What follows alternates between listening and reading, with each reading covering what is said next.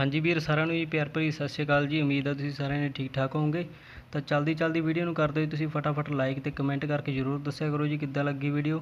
ਤੇ ਕਮੈਂਟ ਕਰਨਾ ਤੇ ਲਾਈਕ ਕਰਨਾ ਜੀ ਬਹੁਤ ਵਧੀਆ ਲੱਗਦਾ ਜੀ। ਮਤਲਬ ਆਪਣੇ ਚੈਨਲ ਨੂੰ ਜਿਹੜਾ ਵੀ ਪਰਿਵਾਰ ਜਿਹੜਾ ਆਪਣਾ ਉਹ ਜੁੜਿਆ ਪਿਆ ਠੀਕ ਹੈ ਜੀ। ਵੱਧ ਤੋਂ ਵੱਧ ਸਪੋਰਟ ਦੀ ਲੋੜ ਹੈ ਜੀ। ਤੇ ਇੱਦਾਂ ਹੀ ਦਿੰਦੇ ਰਹੋ ਜੀ ਪਿਆਰ।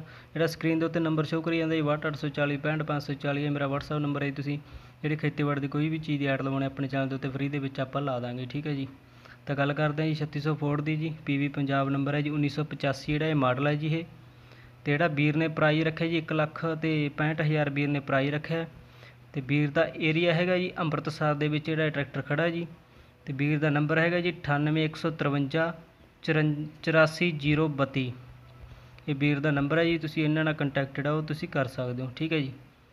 ਤਾਂ ਰਿਕਵੈਸਟ ਇਹ ਹੈ ਵੀ ਵੀਡੀਓ ਨੂੰ ਕੱਟ ਕਰਕੇ ਜਿਹੜਾ ਉਹ ਨਾ ਦੇਖਿਆ ਕਰੋ ਜੀ, ਤਾਂ ਕਿ ਜਿਹੜਾ ਵੀ ਵੀਰ ਦਾ ਨੰਬਰ ਕਿਸੇ ਦਾ ਵੀ ਦਿੱਤਾ ਹੁੰਦਾ ਤਾਂ ਮਿਸ ਹੋ ਜਾਂਦਾ, ਕੱਟਿਆ ਜਾਂਦਾ ਜੀ। ਅਤੇ ਇੱਕ ਵੀਡੀਓ ਨੂੰ ਵੱਧ ਤੋਂ ਵੱਧ ਸ਼ੇਅਰ ਕਰਿਆ ਕਰੋ ਜੀ, ਤਾਂ ਕਿ ਜਿਹੜੇ ਆਪਣੇ ਚੈਨਲ ਦੇ ਉੱਤੇ ਐਡ ਪੈਂਦੀ ਆ, ਤਾਂ ਉਹਦੀ ਚੀਜ਼ ਜਿਹੜੀ ਫਟਾਫਟ ਸੇਲ ਹੋ ਜੇ, ਠੀਕ ਹੈ ਜੀ।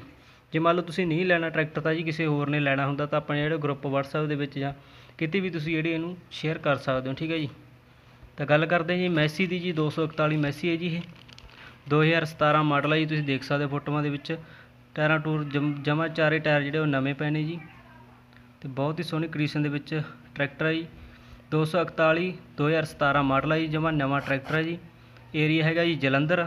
ਜਿਹੜਾ ਵੀਰ ਨੇ ਪ੍ਰਾਈਸ ਰੱਖਿਆ ਜੀ 475000 ਵੀਰ ਨੇ ਪ੍ਰਾਈਸ ਰੱਖਿਆ ਇਹਦੇ ਉੱਤੋਂ ਡਾਊਨ ਪੇਮੈਂਟ ਵੱਧ ਘੱਟ ਜਿਹੜੀ ਉਹ ਹੋ ਸਕਦੀ ਹੈ ਠੀਕ ਹੈ ਜੀ। ਪੀਬੀ ਪੰਜਾਬ ਨੰਬਰ ਹੈ ਜੀ ਇਹ। ਵੀਰ ਦਾ ਨੰਬਰ ਹੈਗਾ ਜੀ 83604 02539 ਇਹ ਵੀਰ ਦਾ ਨੰਬਰ ਹੈ ਜੀ, ਤੁਸੀਂ ਇਹਨਾਂ ਨਾਲ ਕੰਟੈਕਟ ਜਿਹੜਾ ਤੁਸੀਂ ਕਰ ਸਕਦੇ ਹੋ। ਤੇ ਮਿਲਦੇ ਹਾਂ ਜੀ ਆਪਾਂ ਨੈਕਸਟ ਵੀਡੀਓ ਵਿੱਚ। ਧੰਨਵਾਦ ਜੀ।